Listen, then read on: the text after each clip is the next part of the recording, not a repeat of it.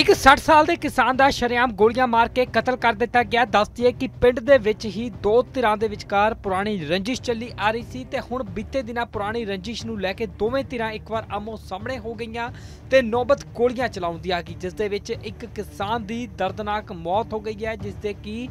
ਗੋਲੀ ਲੱਗੀ ਹੈ। ਤਾਂ ਦੱਸਦੀ ਹੈ ਕਿ ਕਿਸਾਨ ਦੀ ਜੋ ਪਹਿਚਾਨ ਹੈ, ਉਹ ਜਸਪਾਲ ਸਿੰਘ ਵਜੋਂ ਹੋਈ ਹੈ, ਜੋ ਕਿ ਕਪੂਰਥਲਾ ਦੇ ਪਿੰਡ ਝੱਲ ਠਿਕਰੀ ਵਾਲਾ ਦਾ ਰਹਿਣ ਵਾਲਾ ਸੀ। ਉੱਥੇ ਦੱਸਿਆ ਜਾ ਰਿਹਾ ਕਿ ਦੋ ਧਿਰਾਂ ਦੀ ਪੁਰਾਣੀ ਰੰਜਿਸ਼ ਚੱਲੀ ਆ ਰਹੀ ਸੀ ਤੇ ਬੀਤੇ ਦਿਨਾਂ ਵਿੱਚ ਜਦੋਂ ਦੋਵੇਂ ਆਮੋ ਸਾਹਮਣੇ ਹੋ ਗਏ, ਤਾਂ ਪਹਿਲਾਂ ਇੱਕ ਦੂਜੇ ਨੂੰ ਕਾਫੀ ਜ਼ਿਆਦਾ ਗਾਲੀ ਗਲੋਚ ਕੀਤਾ ਜਾਂਦਾ ਹੈ ਤੇ ਫਿਰ ਉਸ ਤੋਂ ਬਾਅਦ ਨੌਬਤ ਹਥਿਆਰਾਂ ਤੱਕ ਦੀ ਆ ਜਾਂਦੀ ਹੈ, ਜਿਸ ਦੇ ਵਿੱਚ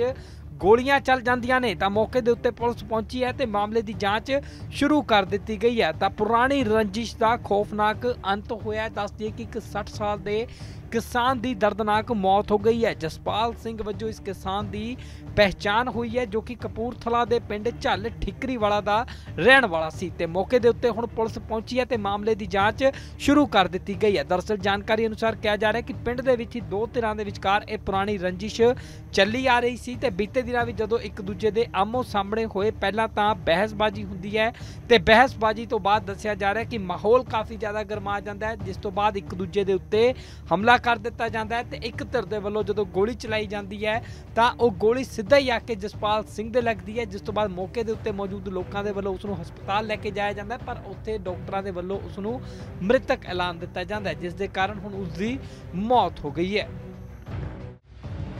ਇੱਕ 60 ਸਾਲ ਦੇ ਕਿਸਾਨ ਦਾ ਸ਼ਰੇਆਮ ਗੋਲੀਆਂ ਮਾਰ ਕੇ ਕਤਲ ਕਰ ਦਿੱਤਾ ਗਿਆ। ਦੱਸਦੀ ਹੈ ਕਿ ਪਿੰਡ ਦੇ ਵਿੱਚ ਹੀ ਦੋ ਧਿਰਾਂ ਦੇ ਵਿਚਕਾਰ ਪੁਰਾਣੀ ਰੰਜਿਸ਼ ਚੱਲੀ ਆ ਰਹੀ ਸੀ ਤੇ ਹੁਣ ਬੀਤੇ ਦਿਨਾਂ ਪੁਰਾਣੀ ਰੰਜਿਸ਼ ਨੂੰ ਲੈ ਕੇ ਦੋਵੇਂ ਧਿਰਾਂ ਇੱਕ ਵਾਰ ਆਮੋ ਸਾਹਮਣੇ ਹੋ ਗਈਆਂ ਤੇ ਨੌਬਤ ਗੋਲੀਆਂ ਚਲਾਉਣ ਦੀ ਆ ਗਈ, ਜਿਸ ਦੇ ਵਿੱਚ ਇੱਕ ਕਿਸਾਨ ਦੀ ਦਰਦਨਾਕ ਮੌਤ ਹੋ ਗਈ ਹੈ, ਜਿਸ ਦੇ ਕੀ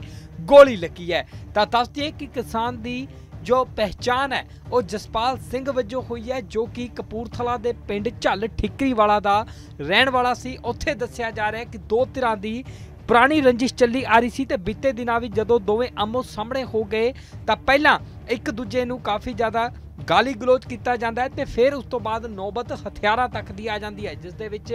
ਗੋਲੀਆਂ ਚੱਲ ਜਾਂਦੀਆਂ ਨੇ, ਤਾਂ ਮੌਕੇ ਦੇ ਉੱਤੇ ਪੁਲਿਸ ਪਹੁੰਚੀ ਹੈ ਤੇ ਮਾਮਲੇ ਦੀ ਜਾਂਚ ਸ਼ੁਰੂ ਕਰ ਦਿੱਤੀ ਗਈ ਹੈ ਤਾਂ ਪੁਰਾਣੀ ਰੰਜਿਸ਼ ਦਾ ਖੌਫਨਾਕ ਅੰਤ ਹੋਇਆ ਹੈ। ਦੱਸ ਦਈਏ ਕਿ ਇੱਕ 60 ਸਾਲ ਦੇ ਕਿਸਾਨ ਦੀ ਦਰਦਨਾਕ ਮੌਤ ਹੋ ਗਈ ਹੈ। ਜਸਪਾਲ ਸਿੰਘ ਵਜੋਂ ਇਸ ਕਿਸਾਨ ਦੀ ਪਹਿਚਾਨ ਹੋਈ ਹੈ, ਜੋ ਕਿ ਕਪੂਰਥਲਾ ਦੇ ਪਿੰਡ ਝੱਲ ਠਿਕਰੀ ਵਾਲਾ ਦਾ ਰਹਿਣ ਵਾਲਾ ਸੀ ਤੇ ਮੌਕੇ ਦੇ ਉੱਤੇ ਹੁਣ ਪੁਲਿਸ ਪਹੁੰਚੀ ਹੈ ਤੇ ਮਾਮਲੇ ਦੀ ਜਾਂਚ ਸ਼ੁਰੂ ਕਰ ਦਿੱਤੀ ਗਈ ਹੈ। ਦਰਅਸਲ ਜਾਣਕਾਰੀ ਅਨੁਸਾਰ ਕਿਹਾ ਜਾ ਰਿਹਾ ਕਿ ਪਿੰਡ ਦੇ ਵਿੱਚ ਹੀ ਦੋ ਧਿਰਾਂ ਦੇ ਵਿਚਕਾਰ ਇਹ ਪੁਰਾਣੀ ਰੰਜਿਸ਼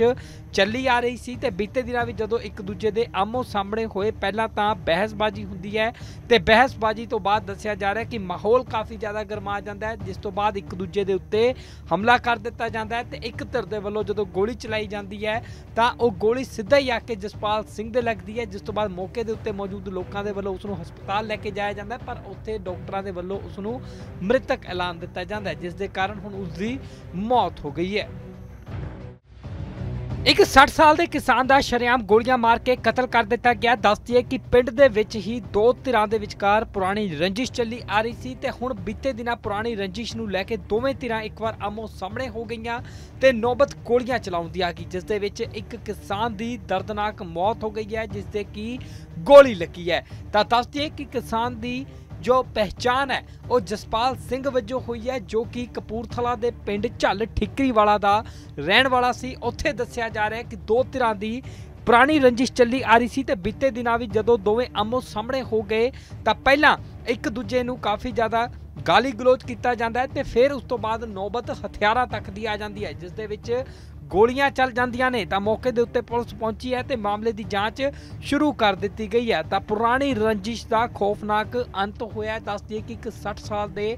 ਕਿਸਾਨ ਦੀ ਦਰਦਨਾਕ ਮੌਤ ਹੋ ਗਈ ਹੈ। ਜਸਪਾਲ ਸਿੰਘ ਵਜੋਂ ਇਸ ਕਿਸਾਨ ਦੀ ਪਹਿਚਾਨ ਹੋਈ ਹੈ, ਜੋ ਕਿ ਕਪੂਰਥਲਾ ਦੇ ਪਿੰਡ ਝੱਲ ਠਿਕਰੀ ਵਾਲਾ ਦਾ ਰਹਿਣ ਵਾਲਾ ਸੀ ਤੇ ਮੌਕੇ ਦੇ ਉੱਤੇ ਹੁਣ ਪੁਲਿਸ ਪਹੁੰਚੀ ਹੈ ਤੇ ਮਾਮਲੇ ਦੀ ਜਾਂਚ ਸ਼ੁਰੂ ਕਰ ਦਿੱਤੀ ਗਈ ਹੈ। ਦਰਅਸਲ ਜਾਣਕਾਰੀ ਅਨੁਸਾਰ ਕਿਹਾ ਜਾ ਰਿਹਾ ਕਿ ਪਿੰਡ ਦੇ ਵਿੱਚ ਹੀ ਦੋ ਧਿਰਾਂ ਦੇ ਵਿਚਕਾਰ ਇਹ ਪੁਰਾਣੀ ਰੰਜਿਸ਼ ਚੱਲੀ ਆ ਰਹੀ ਸੀ ਤੇ ਬੀਤੇ ਦਿਨਾਂ ਵਿੱਚ ਜਦੋਂ ਇੱਕ ਦੂਜੇ ਦੇ ਆਮੋ ਸਾਹਮਣੇ ਹੋਏ, ਪਹਿਲਾਂ ਤਾਂ ਬਹਿਸਬਾਜ਼ੀ ਹੁੰਦੀ ਹੈ ਤੇ ਬਹਿਸਬਾਜ਼ੀ ਤੋਂ ਬਾਅਦ ਦੱਸਿਆ ਜਾ ਰਿਹਾ ਕਿ ਮਾਹੌਲ ਕਾਫੀ ਜ਼ਿਆਦਾ ਗਰਮਾ ਜਾਂਦਾ ਹੈ, ਜਿਸ ਤੋਂ ਬਾਅਦ ਇੱਕ ਦੂਜੇ ਦੇ ਉੱਤੇ ਹਮਲਾ ਕਰ ਦਿੱਤਾ ਜਾਂਦਾ ਹੈ ਤੇ ਇੱਕ ਧਿਰ ਦੇ ਵੱਲੋਂ ਜਦੋਂ ਗੋਲੀ ਚਲਾਈ ਜਾਂਦੀ ਹੈ ਤਾਂ ਉਹ ਗੋਲੀ ਸਿੱਧਾ ਹੀ ਆ ਕੇ ਜਸਪਾਲ ਸਿੰਘ ਦੇ ਲੱਗਦੀ ਹੈ, ਜਿਸ ਤੋਂ ਬਾਅਦ ਮੌਕੇ ਦੇ ਉੱਤੇ ਮੌਜੂਦ ਲੋਕਾਂ ਦੇ ਵੱਲੋਂ ਉਸ ਨੂੰ ਹਸਪਤਾਲ ਲੈ ਕੇ ਜਾਇਆ ਜਾਂਦਾ ਪਰ ਉੱਥੇ ਡਾਕਟਰਾਂ ਦੇ ਵੱਲੋਂ ਉਸ ਨੂੰ ਮ੍ਰਿਤਕ ਐਲਾਨ ਦਿੱਤਾ ਜਾਂਦਾ ਜਿਸ ਦੇ ਕਾਰਨ ਹੁਣ ਉਸ ਦੀ ਮੌਤ ਹੋ ਗਈ ਹੈ।